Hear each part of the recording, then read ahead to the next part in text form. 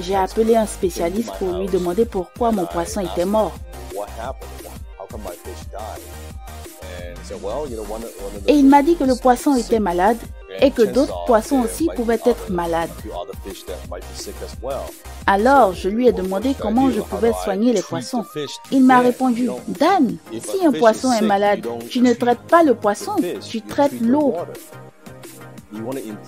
Si vous voulez améliorer votre vie, vous devez prêter attention à votre entourage.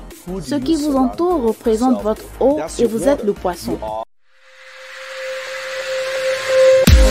CAV English Skills, les compétences essentielles pour réussir professionnellement.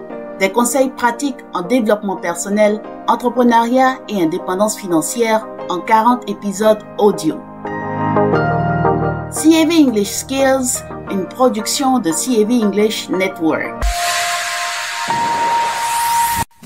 Salut à tous, bienvenue dans le sixième épisode de CAV English Skills. Après avoir écouté l'épisode dernier, vous avez compris que c'est la valeur qui attire l'argent à soi.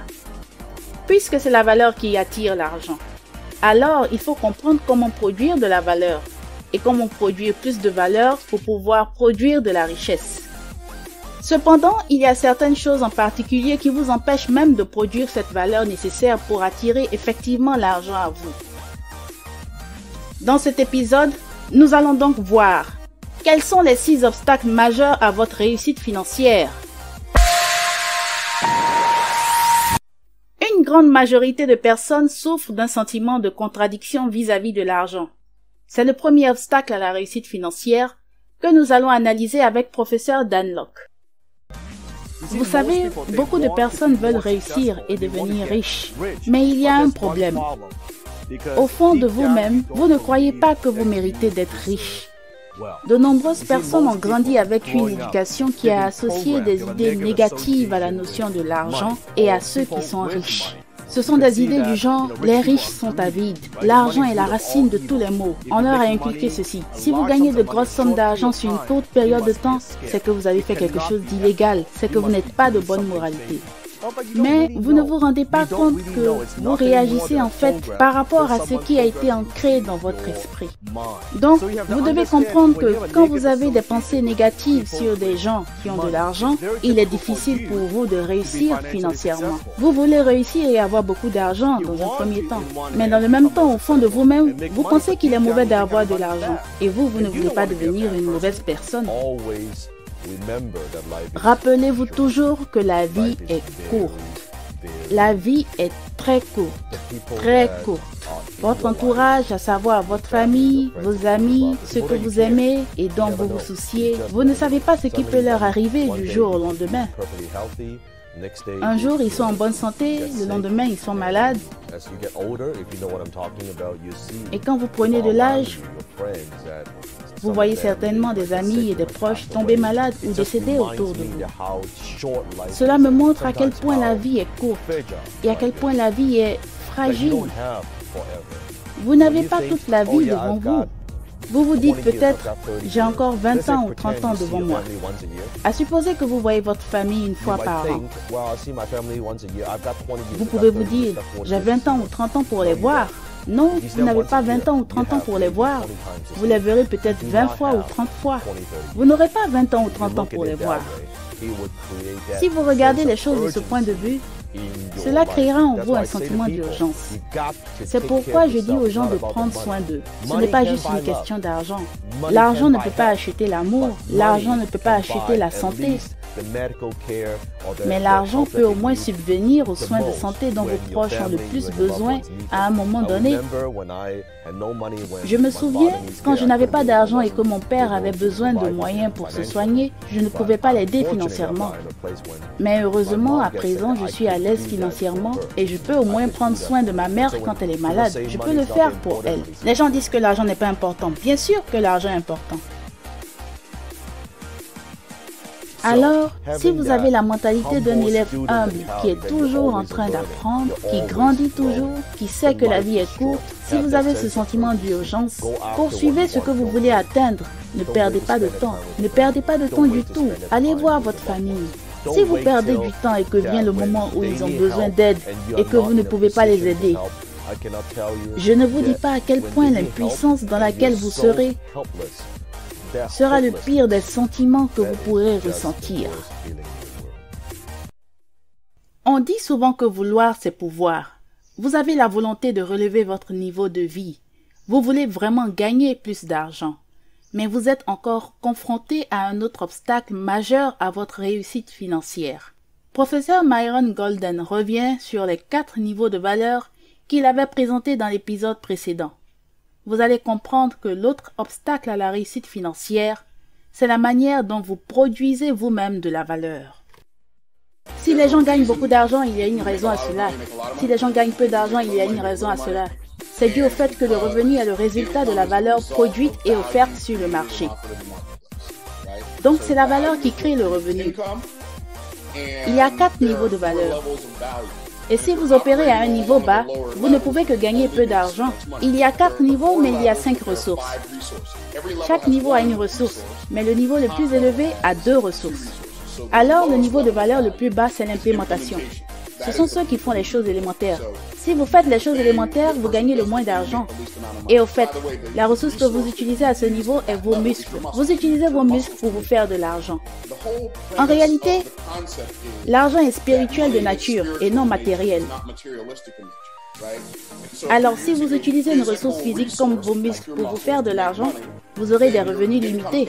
Et si vous voulez augmenter vos revenus, vous devez opérer au niveau spirituel le plus élevé. Le deuxième niveau le plus bas, c'est l'unification. La ressource que vous utilisez, c'est vos compétences en management.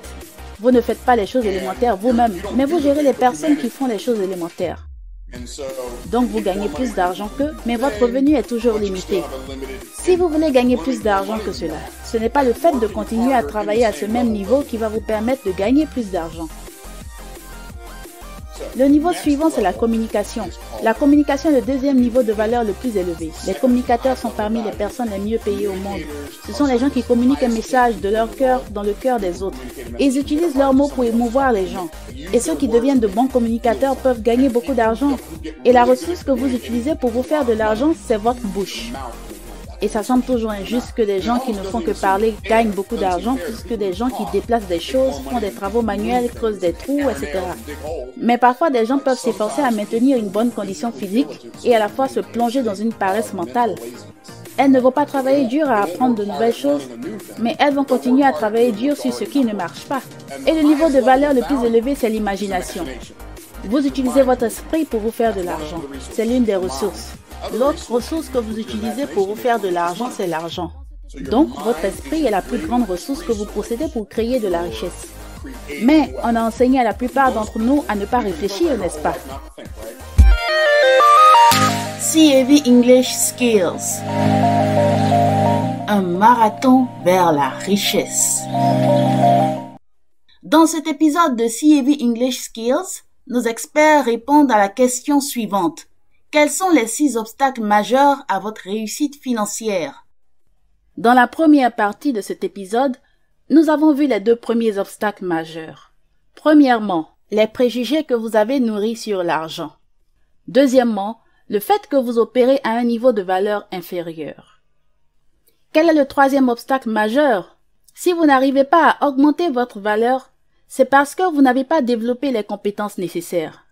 Écoutons professeur Danlock. Pensez à ces deux choses, le désir et la compétence. Vous pouvez avoir le désir de réussir, c'est bien. Par exemple, votre désir peut être ceci. Je veux m'acheter une nouvelle maison. Je veux rembourser mes dettes. Je veux aider ma mère. Je veux acheter une nouvelle voiture. Mais si vous ne pouvez pas vous appuyer sur une compétence pour réaliser votre désir, si vous avez le désir et que vous n'avez pas la compétence, vous serez toujours frustré. Vous pouvez admirer la vie des autres sur Facebook ou Instagram et vouloir aussi être comme eux. Mais sans vous appuyer sur un ensemble de compétences, vous n'y arriverez pas.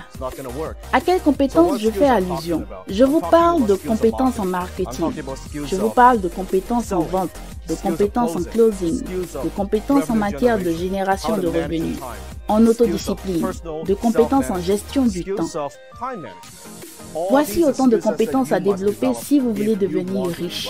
Alors, à vous de choisir. Soit vous vous contentez uniquement d'avoir des désirs et aucune compétence en appui. Dans ce cas, vous serez frustré pour le reste de votre vie. Ou bien vous avez des désirs auxquels vous associez un ensemble de compétences. Dans ce cas, vous avez quelque chose de concret qui vous permettra de créer la vie que vous souhaitez avoir. Alors, ne soyez pas de ceux qui critiquent les riches. C'est parce qu'ils n'ont pas les compétences.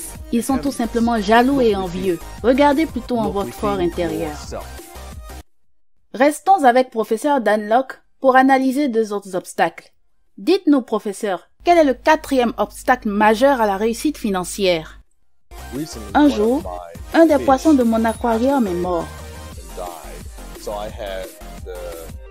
J'ai appelé un spécialiste pour lui demander pourquoi mon poisson était mort. Et il m'a dit que le poisson était malade et que d'autres poissons aussi pouvaient être malades. Alors, je lui ai demandé comment je pouvais soigner les poissons. Il m'a répondu, Dan, si un poisson est malade, tu ne traites pas le poisson, tu traites l'eau. Si vous voulez améliorer votre vie, vous devez prêter attention à votre entourage.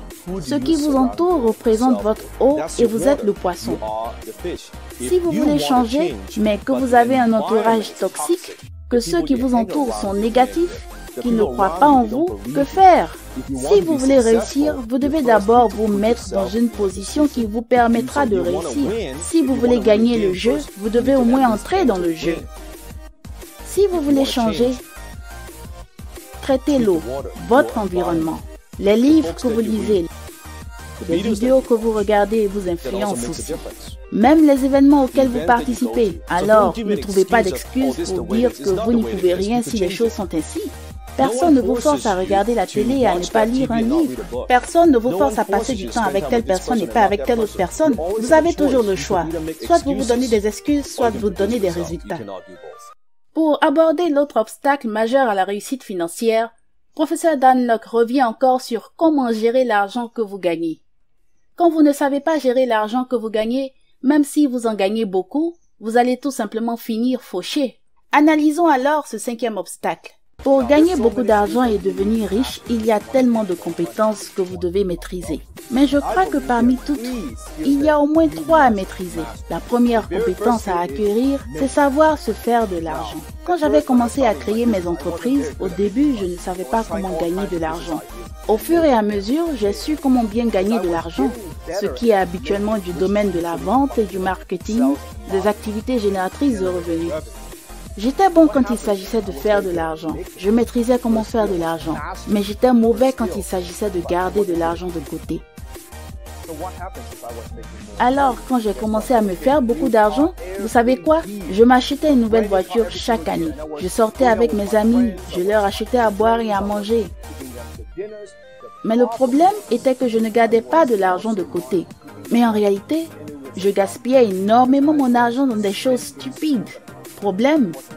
Quand vous savez bien comment vous faire de l'argent, vous avez parfois un excès de confiance et vous pensez que vous pouvez toujours vous faire beaucoup d'argent. Et c'est là le problème. Je vois beaucoup d'entrepreneurs faire cette erreur.